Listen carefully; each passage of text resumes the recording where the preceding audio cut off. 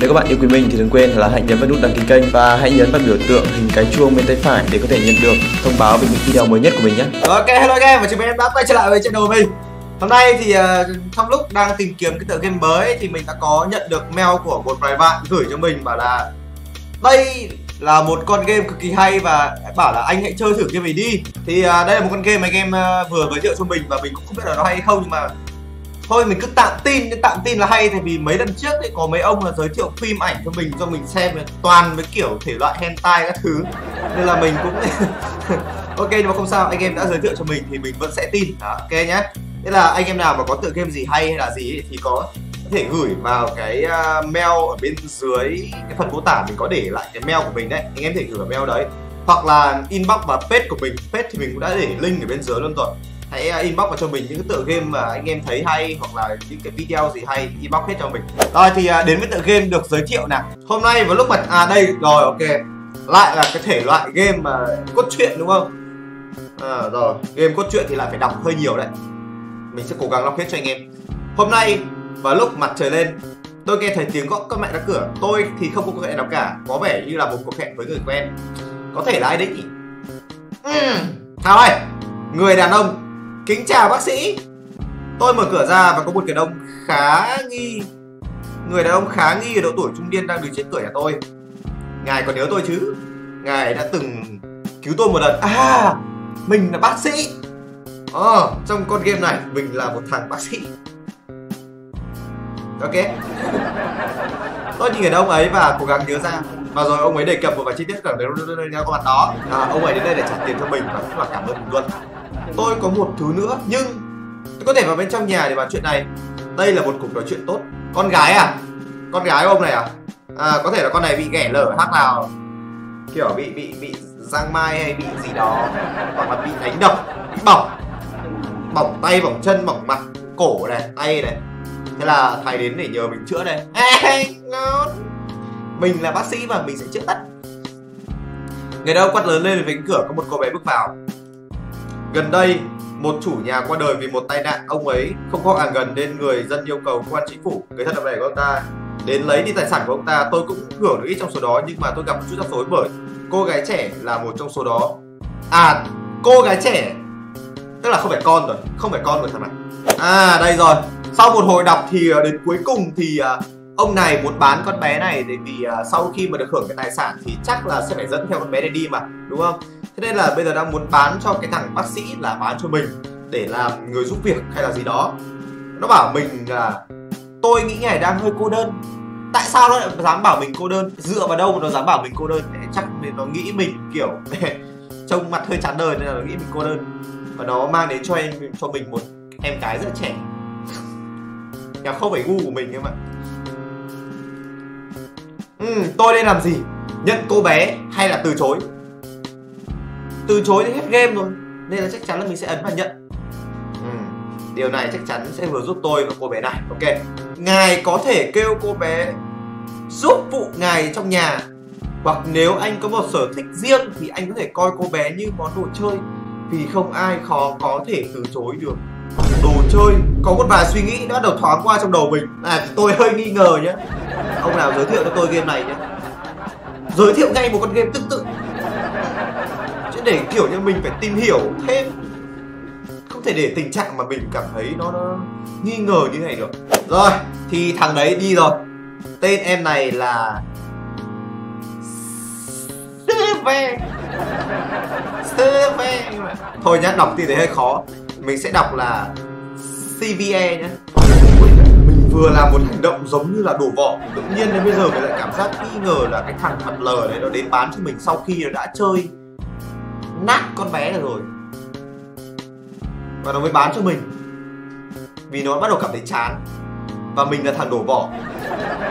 Mẹ chúa tể của những cái vỏ. Đạt. Bây giờ mình sẽ đổi thành đạt. Mình có sừng anh em ạ. Chủ nhân trước rất thích đánh đập và la hét vì em không có giá trị sử dụng. À nó bị đánh do chủ. Thương tâm thương tâm. Có nên nếu có thể xin ngài hay đối xử với em tử tế? Tất nhiên rồi anh em nhìn mặt mình như này mà hiền phải cả lìn ra. Hơi dâm chút nhưng mà hiền. Không bao giờ mình đánh đập con gái. Không bao giờ bắt nạt con gái. Đại khái là không bao giờ luôn. Hứa. À. trông uh, theo mình đoán thì con bé này nó sẽ rơi vào tầm độ tuổi từ 14 đến 16 tuổi. Mình đoán là trong một độ tuổi này. Giờ tôi cần làm gì đây?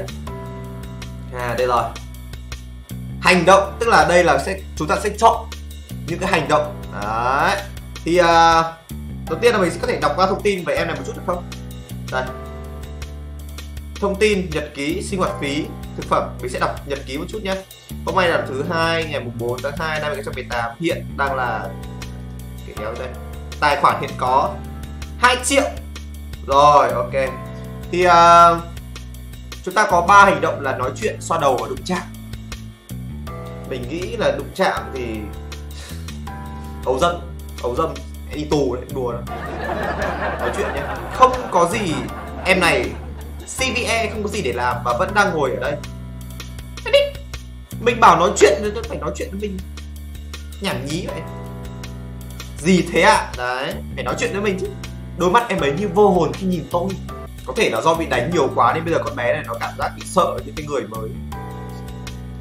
Thương vãi. Nói chuyện tiếp nào có những vết sẹo đỏ rực trên khắp cơ thể nhợt nhạt. Ngài đang nhìn những vết sẹo. Vít mẹ, tất nhiên rồi, đúng không? Mình là người rất là quan tâm đến con gái. Thấy em này bị chảy máu các thứ thì mình phải nhìn sẹo chứ còn thế nào nữa, đúng không?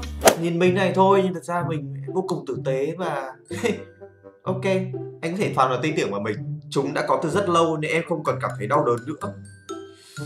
Nhìn cũng xinh mà khổ sau một hồi quan sát những vết sẹo có vẻ đã lành nên không cần phải băng bó. Rồi sau khi mà nhìn sẹo xong thì mình nghĩ là bây giờ chúng ta sẽ phải xoa đầu anh mà kiểu an ủi ấy. À. em ấy đang bị uh, sao nhỉ? Tâm lý đấy bị bị tâm lý đã bị đánh đập rất nhiều nên bây giờ mình phải cho em mình thấy là ừ, không phải thằng nào cũng như thằng chủ cũ của em và tôi là một người khác. Tôi sẽ xoa đầu em xoa đầu thôi xoa đầu rồi làm gì nữa. Ano xoa đầu còn làm gì? Hỏi. Ok ta sẽ xoa đầu.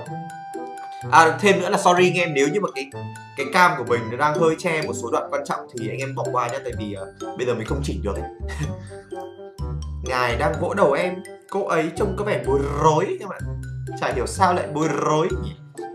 Xoa đầu thôi mà lại bối rối là à có thể là đầu lâu không gội nên là khi mà mình xoa vào thì nó ngứa. Trời tối rồi ôi, nên chuẩn bị bữa tối sớm. Đang xoa đầu thì chuyển qua cảnh trời tối là thì đéo này. Game này anh nào tôi nói với CVE ngồi vào bàn ăn. Bữa tối, em có được ăn mặc dù chưa bị ngài đánh đập. Con này nó giống như là nó đã bị ám ảnh về cái vụ phải đánh đập nhiều quá rồi, nên là bây giờ nó nó bị cuồng đánh đập.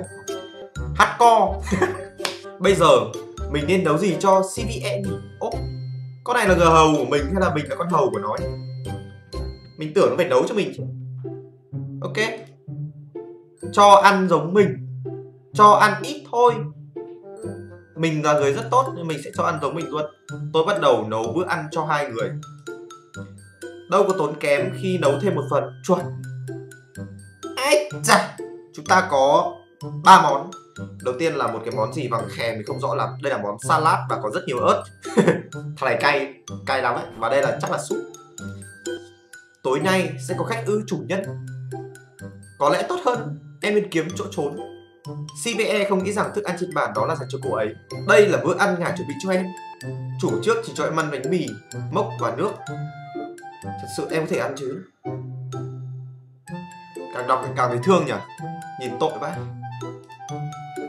Bảo sao cho ăn thế nên là em nó không phát triển được gì cả. Mười mấy tuổi đầu rồi mà trông như trẻ con. Đã tối rồi, tôi nên chuẩn bị đi ngủ. Bất đi. Đã đi ngủ rồi. Ăn xong đi đi ngủ. Như con lợn. Con bé này nó vừa hỏi là em nên làm gì tiếp theo? Đi ngủ đi em. Đi ngủ đi. Đi ngủ đi và chúng ta ngày mai sẽ dậy tập thể dục buổi sáng. Em sẽ phải chịu đựng những thứ đau đớn và tệ hại nữa chứ. Mấy ông lại lừa tôi đúng không? Lại giới thiệu mấy tựa game 18 cộng thôi đúng không? Có vẻ cô ấy đang nghĩ mình có một mục đích khác trong việc đối xử với cô ấy như thế.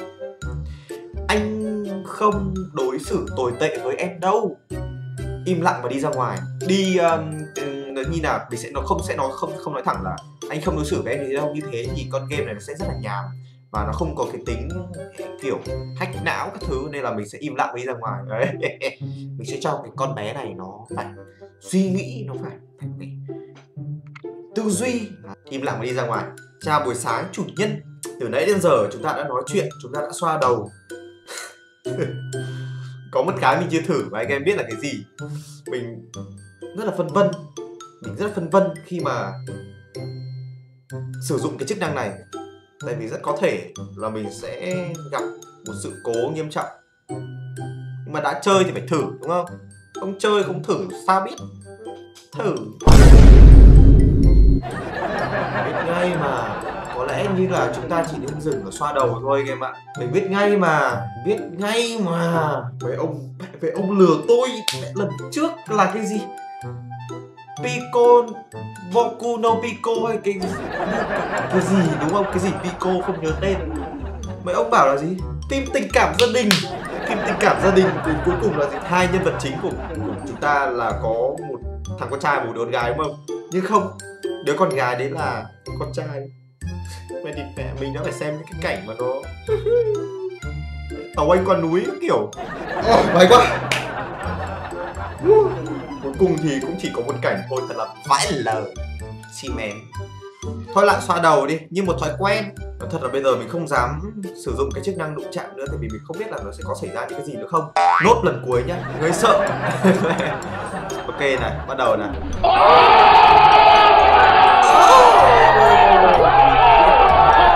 bản thân mình. Nói thật mình không ngại với cảnh này. Nhưng mà mình rất sợ để anh em nhìn thấy vì có những bạn còn nhỏ. Vừa lúc tôi vén quần áo của lên thì hình ảnh cái của cô ấy đập vào mắt tôi. Ok mình chỉ nói như vậy là anh em hiểu đúng không? Nhưng cũng may nó không tẩm bằng pico gì đó. Vì đây là con gái. Mình lúc mà mình ấn là chữ dừng lại ấy, nó kiểu thở dài.